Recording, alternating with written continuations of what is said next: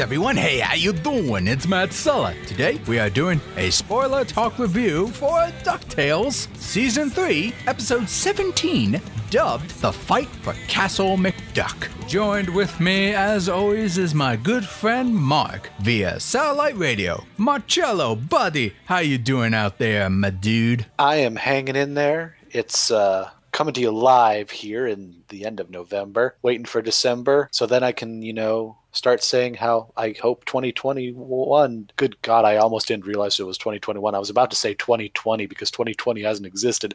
Oh my God, I just can we just get on to 2020 so we can all then start saying how much 2020 21 sucked? Ah, ah. This year has rattled you so much you're getting your numbers mixed up, buddy. It doesn't even feel like it's been a year. I feel like we're still somehow in March there's been, uh, but we at least have DuckTales. Woohoo! That's for sure. Now, before we begin, folks, as I understand it, Marc, we have one more episode left of this season, allegedly, next week. And so after that, in December, we're definitely going to have one movie we want to check out and review, but we might go back and check some of the, maybe would you say, older or other popular animated Disney shows. You think that might be a possibility? I think it certainly would be. We've had a lot of people chime in on, you know, uh, what they would like us to watch. You know, even doesn't even have to be Disney stuff. Just because we're talking about a Disney show, it just seemed to naturally spring up in the conversation. But our chat is always very engaging and, you know, always happy to recommend stuff. So uh, uh, if you're watching this video now, feel free to, you know, still pipe up. If we, you know, we've heard calls for Tangled, Amphibia, Gravity Falls, of course, because Matt hasn't seen that. And I've seen it. And I love Gravity Falls. And I want Matt to watch Gravity Falls. We'd probably just do it probably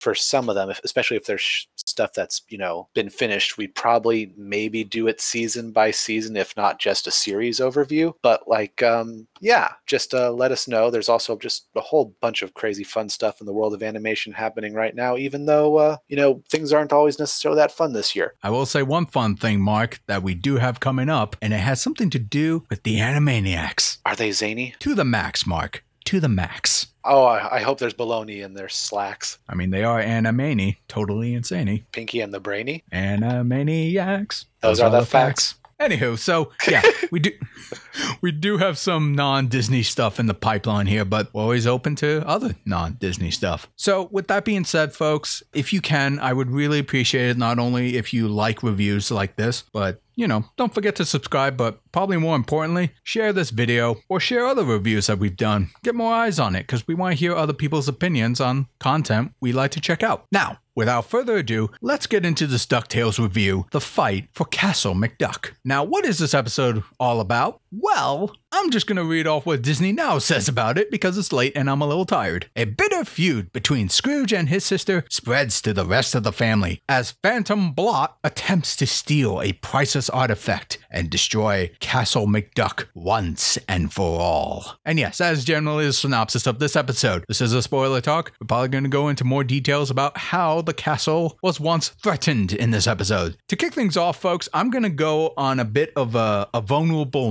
note here. While I will say this episode generally is pretty good, I will say this episode did give me an emotional hit I did not expect. And again, this is spoiler talk, so we are talking about things that happened near at the very end. In this episode, Webby is trying to mend the relationship between Matilda, Scrooge's sister, and try to make the family whole again, try to get them to stop fighting. But no matter what she would do, things always seem to get worse and more tense between the family members, to the point where Scrooge kind of besmirches the name of McDuck and just calls him Scrooge McScrooge, if I remember that correctly, Marc. Was that the joke there? Joke? I thought he was dead serious, Matt. How dare you, how dare you question question the name and integrity of Scrooge McScrooge, richest duck in the world. Oh, you see, we're already fighting. We're not even related. That's how tense things are right now. But anyway, when Webby kind of admitted defeat that no matter what she did, no matter how much she admired this family, she believed that perhaps they were not as functional and great as she wanted them to be. And in the end, she just wanted to be part of a family and hoped that she could become part of the McDuck family. So when she admitted that, that hit me on a somewhat relatable level to the point where I actually started to tear up a little bit there. I did not quite expect that. And so that is the major props I got to give this episode. It actually got an emotional response from me. And I say, hey, good on you guys for doing that. Even though it's a very subjective reflection I'm glad that they were able to pull that off for someone like me. And so, apart from that, there was just a whole bunch of other things in this episode that I quite enjoyed. I liked Huey and Louie kind of clashing the stratagems from finding the lost artifact, which was actually a blessed bagpipe. Was that the case, Marc? It most certainly was, Matt.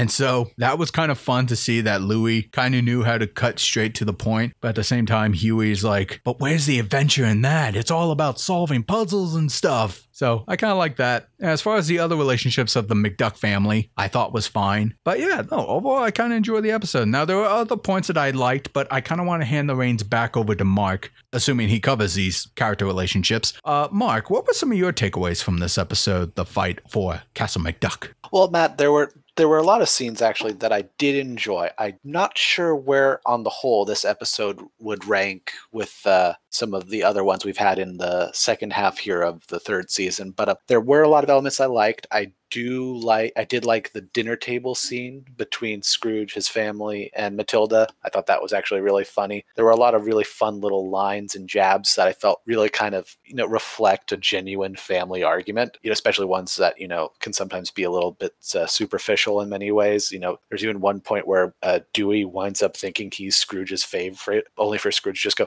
"Oh no, I just said that to guilt trip Matilda," and he was like, "What?" And then they're like, "Wait, he's the favorite," and it was there was some funny stuff there. I will say, as someone who was not a fan of this incarnation of the Phantom Blot in his debut episode, I the character really grew on me in this episode. I actually really liked him and how he played off the uh, egghead uh, personnel Pepper, who um, actually, between the Phantom Blot and herself, has given us a bit of a Mandalorian reunion here, Matt. As we've mentioned before, the Phantom Blot is voiced by Giancarlo Esposito, and uh, uh, Pepper here was voiced by Amy Sedaris, who uh, is the lady who runs the little repair garage on Tatooine, who you know I've also really enjoyed. Because for a second I thought it was um, the lady who voices Jessie in Toy Story for some reason, but um, that wasn't right. But anyway, no, there, that was a lot of fun. There's also this scene where all these statues come to life because the, that's the power of the bagpipes; they give life to inanimate objects. And um, a bust of Scrooge's father's father comes to life, and then he just starts roasting Scrooge's father the same way that uh, he does to Scrooge, and it's just really funny. It just there are a lot of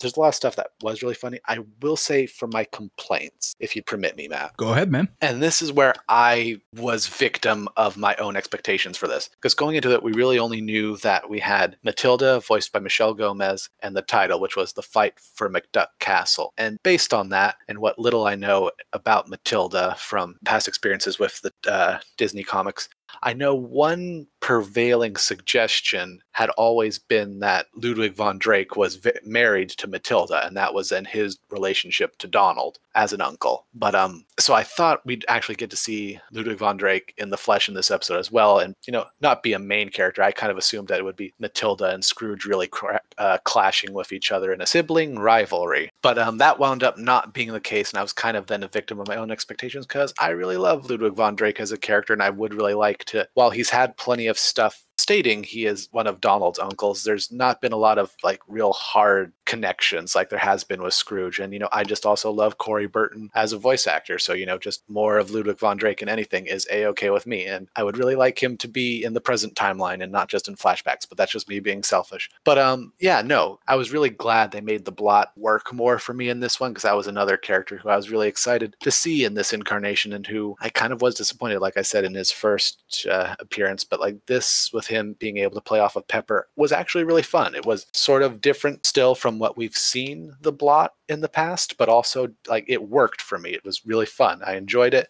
I felt that the episode, once it became very clear what like the moral of the episode was at the end of the day, kind of got a little took away a little bit from me just because I don't think as much this series compared to even other shows has kind of done the whole the moral of this episode thing is we kind of stepped away from that in terms of animated shows. But um so it was kind of weird for me going back to that but I liked it enough. Probably it's not my favorite, but there were enough things in here. Going back to Castle McDuck, seeing Scrooge's parents, having, I think, kind of really the first real bit of anything with Matilda, even though she's a named character. I don't think we've had much with her outside of the fact that she was Scrooge's younger sister and um, is not Hortense, uh, Donald's mother. So it was interesting. It was fun. I liked it. I'm honestly just now really excited for the next episode because uh, Hugh Bonneville is going to be in it. And I love Hugh Bonneville because I know, Matt, you like him from the Paddington movies, and I like him from Downton Abbey. No, absolutely. And I think we're going to need a good, cheery festiveness next week because we're close to reaching the end of this year. And my goodness gracious, we need some form of positivity now, don't we?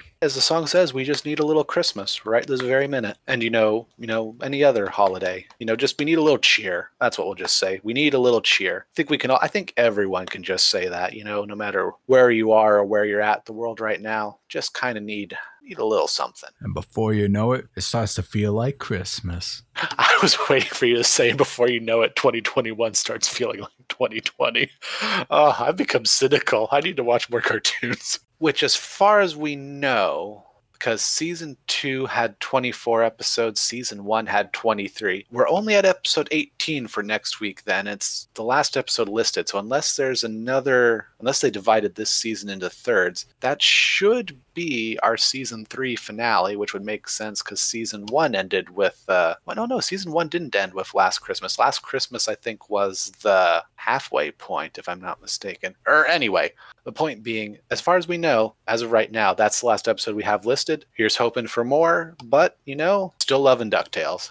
Yeah, pretty much what Marc said. We're going to confirm that, but if indeed next episode is the season finale for this third season of DuckTales, then if you follow us on the second season finale and how we wrap things up there, no shock surprise, we're going to do our usual overall season's impression and things like that. But if indeed the next episode is just a break and we'll have the third final batch of episodes, then we will continue as planned when those episodes premiere. So, with that being said, folks, you heard our opinion, but now we want to hear yours. Let us know in the comment section below what did you think of DuckTales Season 3, Episode 17, The Fight for Castle McDuck? Did you like it? Did you not like it? Share your thoughts, join the conversation. Be sure to leave a like, share, subscribe, ring that bell to be notified when new videos drop, and if you want to support me directly, consider going to my Patreon or do a one time donation at my Streamlabs. Links are in the description below. This is Matt Sella. This is Marc.